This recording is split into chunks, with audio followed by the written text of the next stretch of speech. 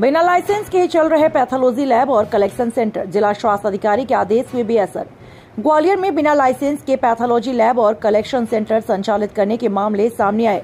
दरअसल बीते दिनों ग्वालियर के मुख्य स्वास्थ्य एवं चिकित्सा अधिकारी द्वारा 24 पैथोलॉजी लैब और कलेक्शन सेंटरों के लाइसेंस निरस्त कर दिए गए थे, क्योंकि इन पैथोलॉजी लैब के लाइसेंसों की समय सीमा 31 मार्च 2023 को समाप्त हो चुकी थी।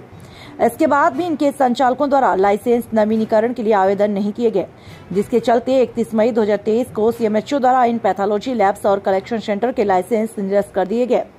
लेकिन बावजूद इसके, इनमें से कुछ पैथोलॉजी लैब और कलेक्शन सेंटर चलते हुए देखे गए। गौरतलब हो कि स्वास्थ्य विभाग की लापरवाही के चलते 31 मार्च के बाद भी तकरीबन दो महीने तक पैथोलॉजी लैब संचालित रही और अब लाइसेंस निरस्तीकरण के बाद भी स्वास्थ्य विभाग इन पैथोलॉजी लैब पर और कलेक्शन सेंटरों का संचालन रुकवाने में असफल रहा।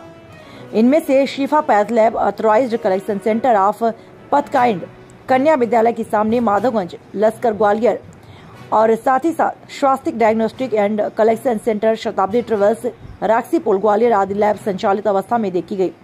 हालाँकि जानकारी मिलने के बाद सीएमएचओ डॉक्टर मनीष शर्मा ने तत्काल कार्यवाही कर एफआईआर कराने का निर्देश दिया।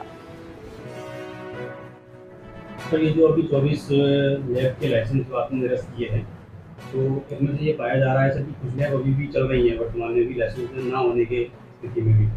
तो उन पर किस तरीके की कार्रवाई? बिल्कुल आपने बहुत अच्छा बताया आपने और हमने संज्ञान में लेने के बाद में मैंने जो इसका प्रभारी है उनसे बोला वो डॉक्टर के साथ जाके निरीक्षण करेंगे और नियमानुसार जो भी सख्त से सख्त कार्रवाई होगी बिल्कुल हम लोग उस पर संपादित करेंगे। इनका भौतिक सत्यापन नहीं किया जाता समय समय पर या तो लाइसेंस का निरस्तीकरण किया।